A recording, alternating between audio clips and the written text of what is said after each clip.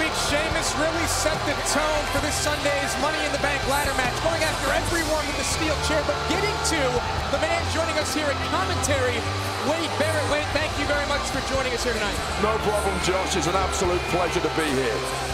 Now, you sound happy.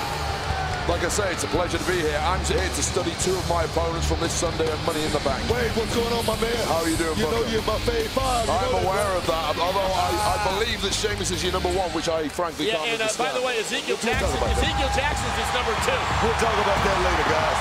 Check this out.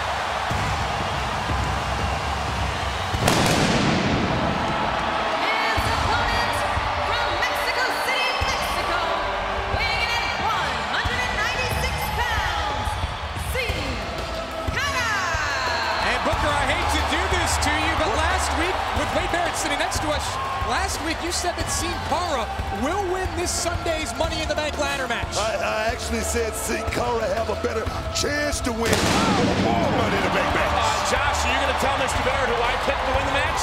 Wade Bull actually picked you to win the Money in the Bank ladder match. Can't wait to get all your opinions, Wade Barrett, about the Money in the Bank ladder match. Sin Cara Sheamus all set to go one on one for the first time ever. Next. The unexpected moment of the week, presented by Skittles. Wrestle the rainbow, taste the rainbow. Now, all of the superstars standing in this ring will be competing in SmackDown's Money in the Bank ladder match. Booker, look at this. Oh, man, here comes Sheamus right here. Got that chair. Sheamus is clearing the ring. Oh, the rest of the Money in the Bank ladder match participants. Tensions rising between these superstars who all have a huge opportunity by competing in SmackDown's Money in the Bank ladder match.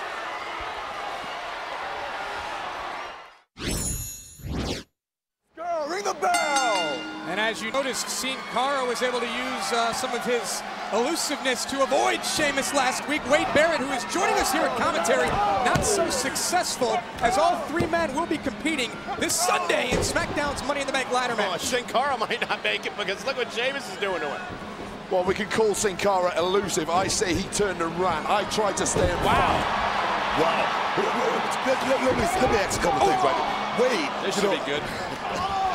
You know, everybody know. I mean, Josh know. I mean, uh, Cole know. I was real quick critical of you and the Corre. I always said also that you was the leader of the Corre. Could you uh, clear that up for, for my man Cole? The over here? Corre was the biggest disaster of my entire career. I never should have entered the Corre. I was never equal with those three. I was clearly superior to all three of them. So you said you were the leader of the Corre, right? Absolutely not. I said we were all equal. Okay, that's, that's one question. Now, since losing the Intercontinental Championship, where do you go from here? Well, I'm going to be in the Money in the Bank match. I intend to win that title and cash it in on Randy Orton. Wow. Go ahead, Book. Keep going. I'll just check it. I'll just check. At least he got his microphone on his face right this week. More, Golly, last more, week- more importantly, what do you think about being Booker T's Fave Five? Well, being Booker T's Fave 5 is absolutely fine. If I'm not number one, though, serious questions need to be asked about the integrity of the Fave 5. Sheamus and Sin Cara going I- one on one for the very first time ever. Of course, To, uh, of course, who knows? I might have to cash in on Christian depending on the result of that matchup on Sunday. Yeah, we shall see. That's what. It, that's really what it's all about. My main man right here, Sheamus, at the top of the list of my fave five. What I like about Sheamus is he remind me of myself. I remember being young, It's 25, about Booker. hungry, ambitious, and, Booker, and you had ready red hair when you were young?